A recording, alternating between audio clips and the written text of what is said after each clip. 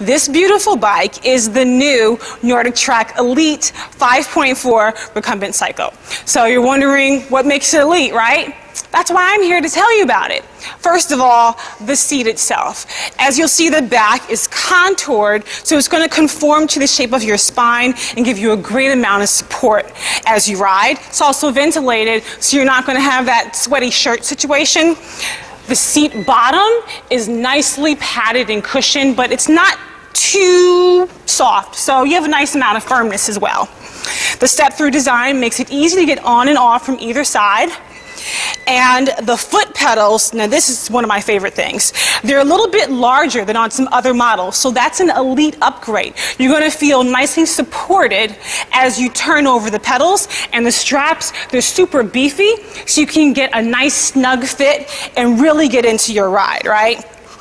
And if you'll notice, you don't hear any knocking, you don't hear any weird, strange noises. That's because of the silent magnetic resistance built into the flywheel. There's also an inertia enhanced feature. It's going to keep the motion nice and smooth and fluid. It feels so good.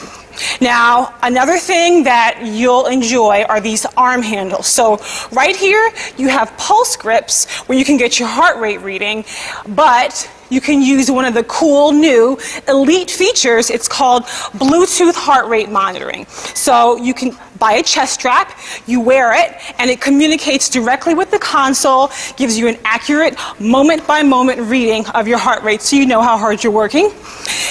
And speaking of working hard, you will be working hard on this machine with the 32 built-in workouts designed around calorie burning and around performance. One of my favorite ones actually kicked me up to 18 miles an hour at a resistance level of 20.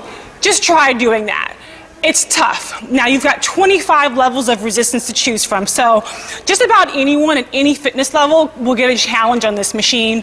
There are one-touch buttons along the sides here that actually control the, dis- uh, the resistance. So all you have to do is just press a button and boom, it responds and it goes to that particular setting right away. There are also manual buttons as well.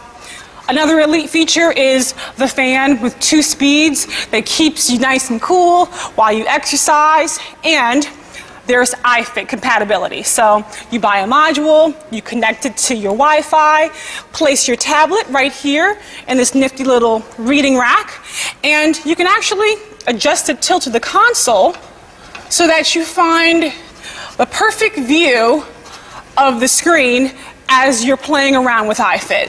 And this, this is another elite feature that I just really love here. And actually the handle itself is nice and substantial, so I'm not like getting all wrist cramps and all that while I'm moving this around.